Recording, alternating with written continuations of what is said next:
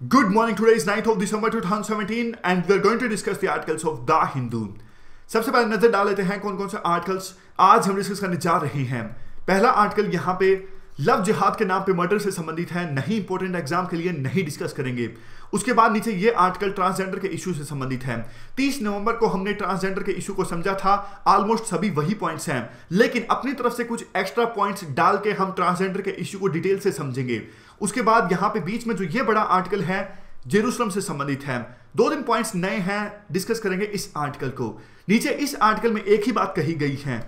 Focus किया जा रहा है, हमारे शरीर में जो पैथोजेंस हैं, यानी रोगों के लिए रिस्पॉन्सिबल जो बैक्टीरिया इत्यादि होते हैं, उन पे अगर मेडिसिन का कोई असर ना हो तो उस सिचुएशन को कहते हैं एंटी माइक्रोबियल रेसिस्टेंस और ये तब होती है जब हम या तो एंटीबायोटिक्स को अननेसेसरी बहुत ज़्यादा खाते हैं, या फिर अपने इलाज को पूरा नहीं करवाते, लेकिन इस आर्टिकल में राइटर के द्वारा एक बात कही जाती है कि देखो हॉस्पिटल्स या फिर ड्रग मेकर जो कंपनीज़ हैं, वो पानी को बहा दे रहे हैं इन्वायरमेंट में। तो इन्वायरमेंट में जो बैक्टीरिया हैं, वो भी रिस्पॉन्सिबल होते हैं हमारे शरीर में एंटी माइक्रोबियल रेसिस्टेंस के लिए।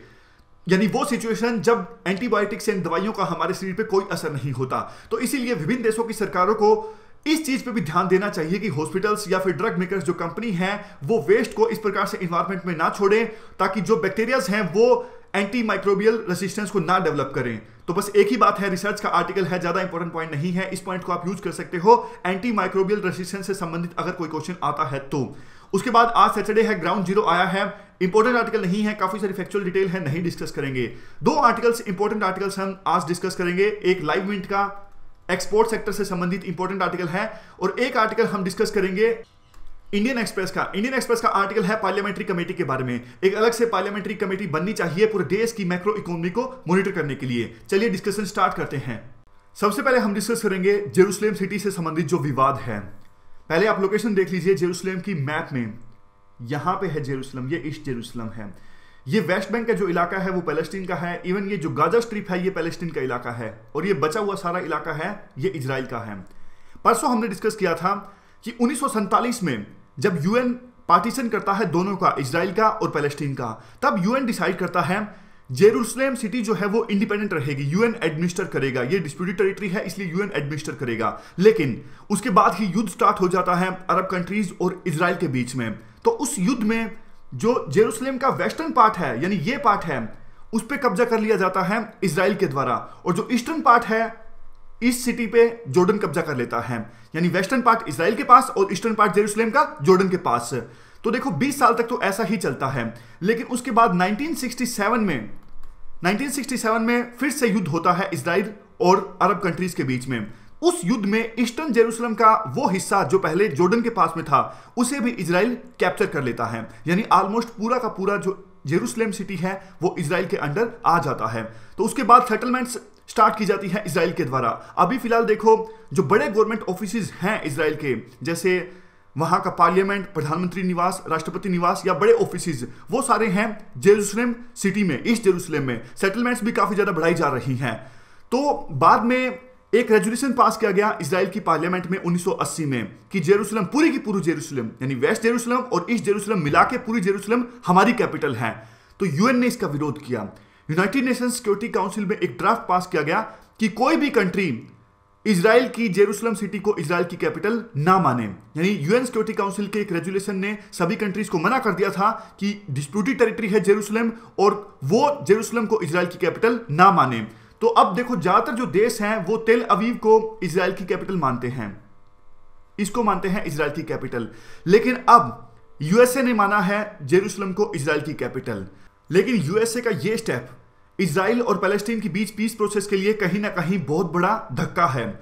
आर्टिकल कहता है कि अगर देखो, ट्रंप को मानना ही था जेरूसलम को इसराइल की कैपिटल तो कम से कम कुछ कमिटमेंट लेनी चाहिए थे इसराइल से। कि वो पीस नेगोशिएशंस के लिए कुछ ना कुछ बात आगे करेंगे, यानी कुछ ना कुछ पैलेस्टीन को लिवरेज देंगे ताकि पीस स्टाब्लिश की जा सके। क्योंकि देखो, पहले जो भी राष्ट्रपति रहे हैं अमेरिका के, उनके एफर्ट्स की वजह से ही इसराइल ने कोशिश की है पीस स्टैब्लिश करने के लिए। अदरवाइज़ इसराइल हर एक देश की बात नहीं मानता। थोड़ा बहुत अमेरिका से ही प्रेशर फील करता है इसराइल और पूर्व में जो अमेरिका के राष्ट्रपति थे, उन्होंने ही इसराइल को प्रेशराइज किया था पीस नेगोशिएशंस को आगे बढ़ाने के लिए। तो ट्रंप को यह कोशिश करनी चाहिए थी, अगर जेरूसलम को कैपिटल मानना ही था तो कम से कम इसराइल से कुछ कमिटमेंट लेते कि भाई आप कुछ करो पीस स्टैब्लिश करने के लिए। लेकिन ट्रंप ने ऐसा कुछ भी नहीं किया। और जबकि इन्वायरमेंट बिल्कुल सही था पीस स्टैब्लिश करने के लिए। क्यों? क्योंकि देखो, ये जो गाजा पट्टी है, यहाँ पे वर्चस्व है हमास का। हमास एक मिलिटेंट ऑर्गेनाइजेशन है। ये मिलिटेंट ऑर्गेनाइजेशन कहती है कि हम पूरे के पूरे इसराइल को खत्म कर देंगे जूस को खत्म कर देंगे। लेकिन इस मिलिटेंट ऑर्गेनाइजेशन का भी हाल ही में स्टैंड काफ़ी मॉडरेट हुआ है। हमास ने भी कहा था हाल ही में कि हम 1967 के बॉर्डर को मानने के लिए तैयार हैं। यानी ये लगने लगा था कि अब पीस स्टैब्लिश करने के लिए कुछ ना कुछ होगा। लेकिन इसी बीच अब ट्रंप ने जेरूसलेम को इसराइल की कैपिटल मान लिया है। तो पीस प्रोसेस के लिए बहुत बड़ा धक्का है। तो ये पूरा आर्टिकल था जेरूसलेम के बारे में। चलते हैं अगले आर्टिकल की तरफ़। अगला आर्टिकल एक्सपोर्ट सेक्टर से संबंधित है। जीएस पेपर थ्री में इंडियन इकोनॉमी ग्रोथ टॉपिक के अंडर कवर होगा ये आर्टिकल एक्सपोर्ट सेक्टर किसी भी देश की इकोनॉमिक ग्रोथ रेट के लिए एक इंपॉर्टेंट ड्राइवर होता है। बहुत सारी जॉब्स भी क्रिएट करता है एक्सपोर्ट सेक्टर किसी भी देश में। हमें देखा पिछले कुछ सालों में साउथ कोरिया और चाइना दोनों देश higher economic growth rate sustain कर पाए हैं। एक्सपोर्ट का इस चीज़ में एक अहम रोल रहा है। इसीलिए अगर इंडिया को एक्सपोर्ट को बूस्ट करना है तो अपनी डोमेस्टिक कंपनीज़ को कंपिटिटिव बनाना होगा ग्लोबल इकोनॉमी के हिसाब से। देखो, कुछ एक्सपर्ट्स के द्वारा यह कहा गया कि चाइना में जो labour intensive manufacturing growth rate है, वो स्लो डाउन होगी, क्योंकि वन चाइल्ड पॉलिसी के कारण वहाँ पे लेबर की अब चाइना में कमी है। तो इंडिया उस स्पेस को, जो चाइना के द्वारा खाली किया गया है लेबर इंटेंसिव मैन्युफैक्चरिंग सेक्टर में, वो इंडिया उस स्पेस को फिल कर सकता है। लेकिन ऐसा होता नहीं दिख रहा है। चाइना के द्वारा जो स्पेस खाली किया गया है लेबर इंटेंसिव मैन्युफैक्चरिंग सेक्टर में, उस स्पेस को भरा जा रहा है बांग्लादेश और वियतनाम की कंपनीज़ के द्वारा, इन दोनों देशों के द्वारा। क्योंकि इन दोनों देशों की जो डोमेस्टिक कंपनीज़ हैं, वो काफ़ी कंपिटेटिव हैं। और इंडिया की जो डोमेस्टिक कंपनीज़ हैं, वो इन दोनों देशों की कंपनीज़ के मुकाबले में कंपिटेटिव नहीं है। जैसे इकोनॉमिक सर्वे 2016-17 बात करता है अप्रैल और फुटवेयर सेक्टर की। यानी इन दोनों सेक्टर्स में जो एक्सपोर्ट है, वो बांग्लादेश और वियतनाम का ज़्यादा कंपिटिटिव है इंडिया की कंपनीज़ के हिसाब से। तो अब देखो कंटेक्स्ट ये है कि इंडिया ने जो फॉरेन ट्रेड पॉलिसी है 2015 से 2020 तक की, इसका मिड टर्म रिव्यू किया है। मिड टर्म रिव्यू में काफ़ी सारे फैसले लिए गए हैं ताकि एक्सपोर्ट को बूस्ट किया जा सके। अगर कुछ फैसलों पे हम चर्चा करें तो इस प्रकार से हैं। कुछ स्पेसिफिक सेक्टर्स को इंसेंटिव दिया जाएगा एक्सपोर्ट को बूस्ट करने के लिए, जैसे रेडीमेड गारमेंट्स और फुटवियर हमने अभी डिस्कस किया कि हम एज जो है वो खोल रहे हैं। वियतनाम और बांग्लादेश की कंपनीज़ हमसे आगे हैं रेडीमेड गारमेंट्स में और फुटवियर में। इसीलिए हमने फैसला लिया है कि हम इंसेंटिव देंगे इन दोनों स्पेसिफिक सेक्टर्स में हमारे एक्सपोर्टर्स को। इसके अलावा सरकार ने यह भी डिसाइड किया कि कुछ स्पेसिफिक सेक्टर्स में कंपनीज़ इनपुट यानी रॉ मटेरियल को प्रोक्योर करती हैं एक्सपोर्ट के लिए तो उन पर ड्यूटी नहीं लगेगी। और लॉजिस्टिक डिवीज़न बनाई गई है, अलग से डिपार्टमेंट ऑफ़ कॉमर्स के अंदर, ताकि लॉजिस्टिक्स को और ज़्यादा आसान बनाया जा सके, और ज़्यादा स्ट्रेंथन किया जा सके लॉजिस्टिक सेक्टर को, ताकि एक्सपोर्ट में किसी भी तरह की परेशानी ना हो। अब देखो राइटर कहते हैं, अच्छी बात है गवर्नमेंट ने इतने सारे स्टेप्स लिए हैं एक्सपोर्ट सेक्टर को स्ट्रेंथन करने के लिए बूस्ट करने के लिए, क्योंकि वर्ल्ड ट्रेड ऑर्गेनाइजेशन के हिसाब से जो ट्रेड वॉल्यूम्स हैं, वो बढ़ने वाले हैं 2017 में 2016 की अपेक्षा में। लेकिन इंडिया को कुछ स्ट्रक्चरल चेंजेस लाने होंगे अगर एक्सपोर्ट सेक्टर को बूस्ट करना है तो। तो कौन से ऐसे स्ट्रक्चरल चेंजेस हैं जिनकी बात यहाँ पे राइटर कर रहे हैं? सबसे पहले आता है लॉजिस्टिक सेक्टर सरकार को लॉजिस्टिक सेक्टर में एफिशिएंसी लाने के लिए कदम उठाने होंगे। मान लीजिए मैं अपने गाँव में एक पेन की फैक्ट्री ओपन करता हूँ। उस फैक्ट्री में बनता है पेन और पेन की डिमांड है ऑस्ट्रेलिया में। ऑस्ट्रेलिया से मेरे पास में ऑर्डर आता है कि आप हमें हज़ार क्वांटिटी पेन भेज दीजिए वहाँ पे। तो कितनी कम कॉस्ट में और कितनी जल्दी मैं अपने गाँव से पेन को भेज सकता हूँ ऑस्ट्रेलिया में? ये सब चीज़ें आती हैं लॉजिस्टिक्स के अंदर।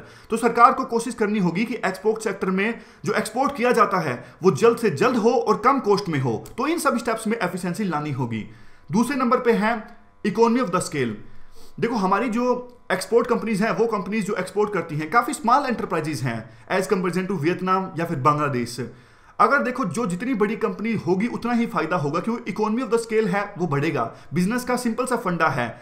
जो चीज़ जितनी बड़े क्वांटिटी में उसको प्रोड्यूस किया जाएगा, उतना ही वो चीज़ सस्ती पड़ेगी। लेकिन छोटी छोटी कंपनीज़ हैं हमारे देश में, और अब क्वेश्चन ये उठता है कि वो बड़ी क्यों नहीं बनती? बड़ी नहीं बनती क्योंकि वो लेबर लॉस के कारण। इंसेंटिव नहीं है जो छोटी कंपनीज़ के मालिक हैं उनको। उनको ये लगता है कि कंपनी बड़ी होगी तो लेबर लॉस को फॉलो करना पड़ेगा और बहुत सारी दिक्कतें आएँगी रेड टेपिज्म बढ़ेगा। इसलिए वो अपनी कंपनीज़ को छोटा रख के ही खुश है।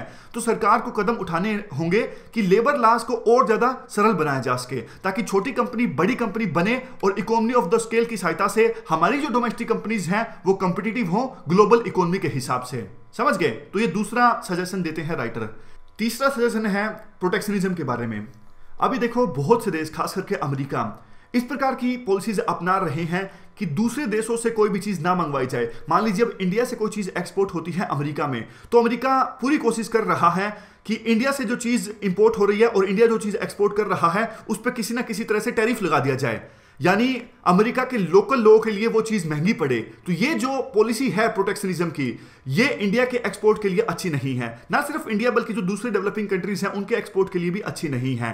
तो इस चीज़ के विरुद्ध इंडिया को आवाज़ उठानी होगी एसर्टिव तरीके से। डब्ल्यूटीओ में इंडिया ने हमेशा आवाज़ उठाई है, लेकिन डब्ल्यूटीओ में आवाज़ उठाने का कोई फ़ायदा हो नहीं रहा है।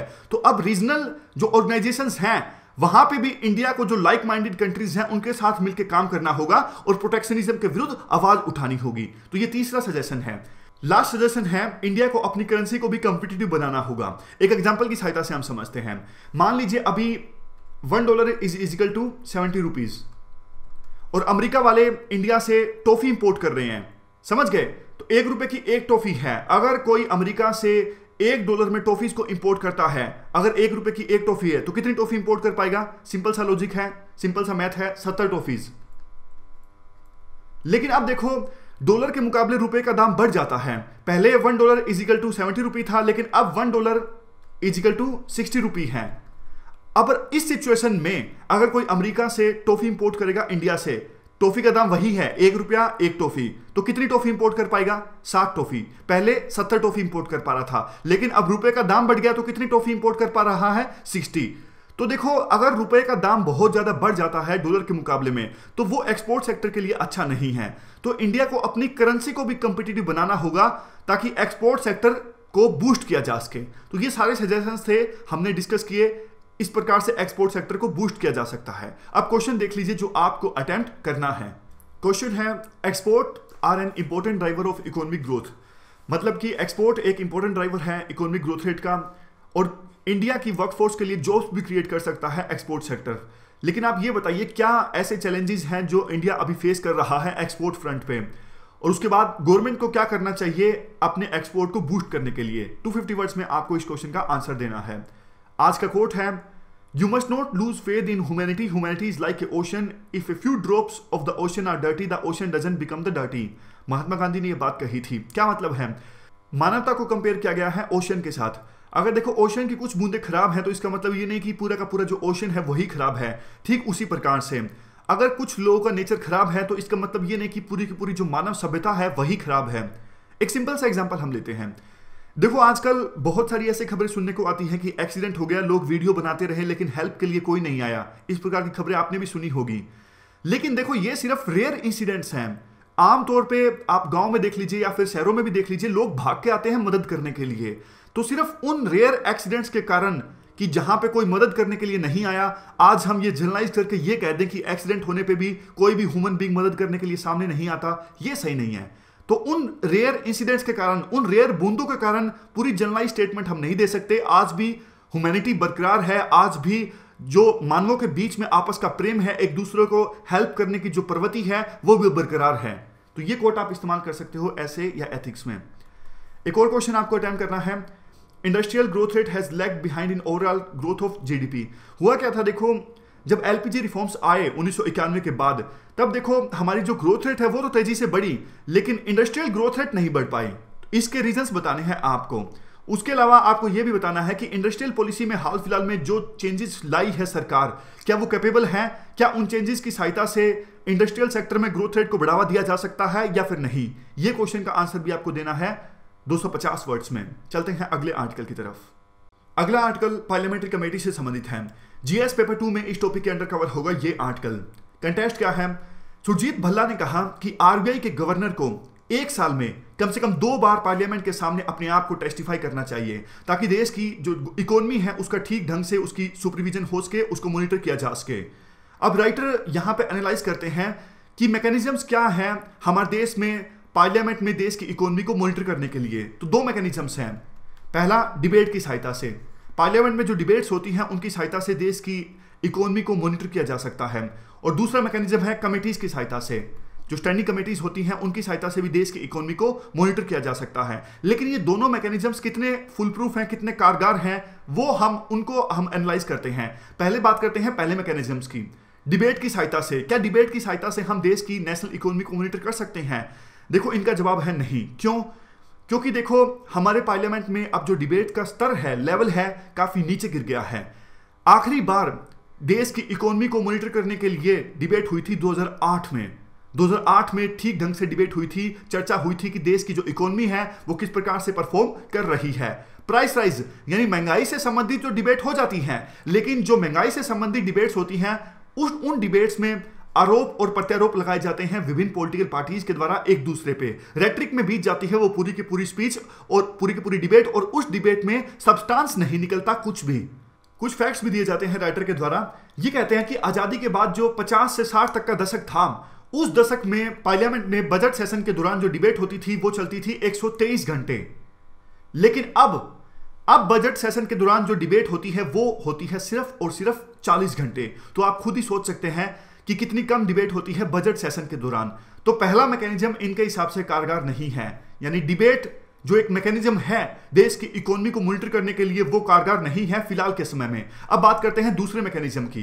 क्या कमेटीज की सहायता से देश की इकोनॉमी को मॉनिटर किया जा सकता है पार्लियामेंट के थ्रू ना। क्यों? क्योंकि देखो, जो भी स्टैंडिंग कमेटीज हैं हमारे पार्लियामेंट में इकोनॉमी को मॉनिटर करने के लिए, वो पर्टिकुलर मिनिस्ट्री को मॉनिटर करती हैं। पर्टिकुलर मिनिस्ट्री के लेजिस्लेशन को एक्सपेंडिचर को, उनकी पॉलिसीज़ को मॉनिटर करती हैं। लेकिन ऐसी कोई कमेटी नहीं है जो पूरी की पूरी मैक्रो इकोनॉमी को मॉनिटर करे कि हमारी देश की जो इकोनॉमिक ग्रोथ रेट है वो सात परसेंट है, छह परसेंट है, पाँच परसेंट है। अगर कम है तो क्या, क्यों है, क्या दिक्कत है? इन सब चीज़ों को मॉनिटर करने के लिए कोई पूरी कमेटी नहीं है। एक एक करके जो स्टैंडिंग कमेटीज हैं वो एक एक मिनिस्ट्री के साथ जुड़ी हुई हैं और उस मिनिस्ट्री के एक्सपेंडिचर को लेजिस्लेशन को और पॉलिसी को सुपरवाइज करती हैं। और देखो, बाकी के जो देश हैं, जैसे यूके यूएसए इनमें इस तरह की कमेटीज हैं जो पूरे देश की इकोनॉमी को मैक्रो इकोनॉमी को मॉनिटर करती हैं। जैसे फॉर एग्जांपल यूएसए में जो दो हाउसेज हैं, दोनों हाउसेज की एक जॉइंट कमेटी है।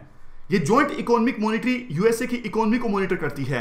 उसी तरह से यूके में भी इकोनॉमिक अफेयर जो कमेटी है, वो यूके की इकोनॉमी को मॉनिटर करती है। अब जैसे ब्रिटेन अलग हो रहा है यूरोपियन यूनियन से तो क्या इसका इंपैक्ट होगा ब्रिटेन की लेबर मार्केट पे?